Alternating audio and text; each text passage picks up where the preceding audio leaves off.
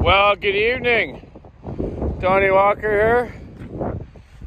It's Saturday night fever in Nanaimo, BC, Canada. I live on the wet coast of Canada, but today and the last couple days have been the white coast. Been a bit of snow here. Nothing to be really, nothing huge, just a little skiff, eh? But everyone gets all concerned. Major snowblowers coming in. We sold, I think, another one. You know, everyone's panicking. Supposed to be more tonight, but so far there hasn't been. It's just windy and a bit of freezing rain tonight. It's probably about zero degrees right now, Celsius. I don't know what that is in Fahrenheit. Someone can correct me on that. Maybe about 25 or 30 in the USA. Down here at the Fozzarelli, my dog, down at the beach, just came down to 7-Eleven grab a little bit of pepperoni. We're having the old Kraft pizza mixes tonight. You guys ever make those Kraft pizza mixes? Original old things from years ago. And we just like them basic with some pepperoni, some cheese, and a couple other little things. Had a good day today. Went out to see my parents. Talked to my dad for a bit. Helped him out with a couple things.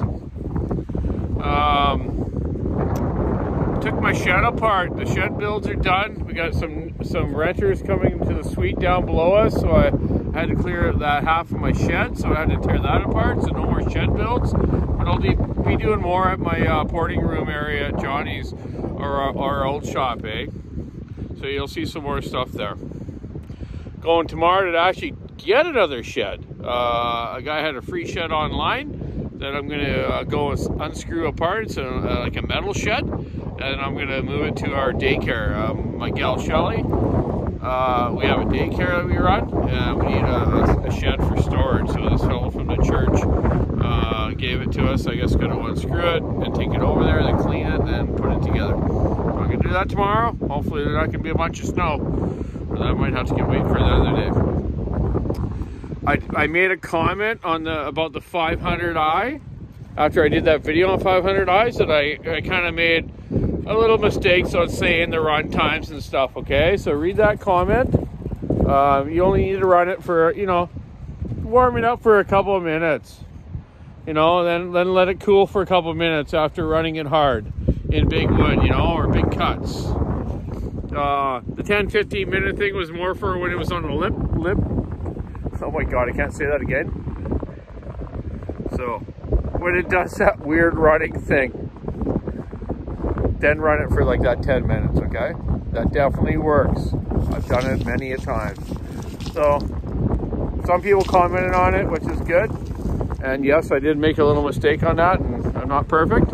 I don't know how to edit, and I probably never will, maybe. Maybe one day I will, but I just like to tell the truth and the way, way it goes, right? Wow, it's cold tonight. I got to get some gloves on. Uh, my hands are really cold. I got uh, a bit of white finger, eh?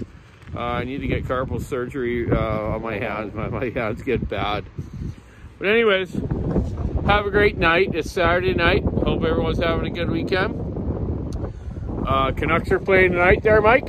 I'll check that out when I get home. They're playing against Boston. Not their favorite team and their fans' favorite team. So keep your saw on the wood, stick in the ice, rubbing her out. Check out the walkersawshop.com online store. And you have a great weekend. Donny out.